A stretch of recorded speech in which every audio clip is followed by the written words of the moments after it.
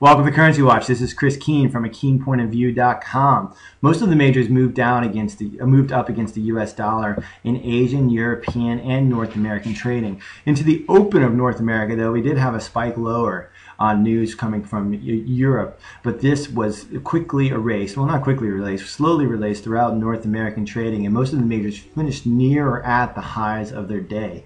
Heading into tonight's trading, we have a few pairs in very interesting positions. The first is the Great Britain Pound USD cross. The Pound USD has been trading within a triangle on the one hour and four hour chart. The, uh, the cross at about 2 o'clock Eastern Time today tried to break above the triangle, only to be rejected lower, but it appears to be having a bit of momentum into the close. We can get a one hour or definitely a four hour close above this triangle level, uh, we would probably have a definite break of this trend and we could move up towards uh, initially towards 156, but more ultimately move up towards the 50 fib level around 157.83. The next pair I'm keeping my eye on is the Euro USD.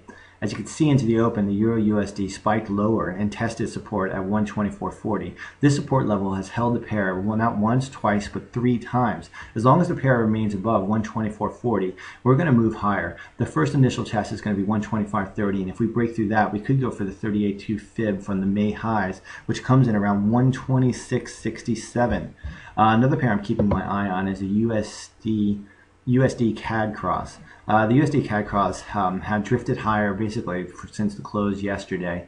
Uh, today it spiked higher and probably whipsawed quite a few people out. Um, and, and, tested trendline support, but then quickly resumed its trend lower, and now is currently trying to break through 102.60. If the pair can break through 102.60, we can definitely have another move down towards 102, which the pair has been rejected at, I think, one or two times so far. We could have the momentum to move move lower through this risk risk level.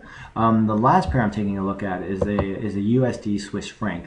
The USD Swiss franc, as you can see, has been riding this uh, trend line lower, and as long as we remain below this trend line, the, the quickest and the easiest trade would be for the pair to move lower and once again test uh, support in the 0.950. So as long as we stay above I mean below 0.9630, I would have to assume that uh, we are going to continue to move lower towards 0.950. As for news tonight, uh, we have um, the biggest, well, out of Asia to start off, we have the Japanese machine orders report, but the biggest news that people are going to be watching is the Euro CPI report. Neither one of these reports are going to be market market breaking. So overall, you should keep an eye on risk trends tonight to see particularly which way the uh, markets are going to be moving.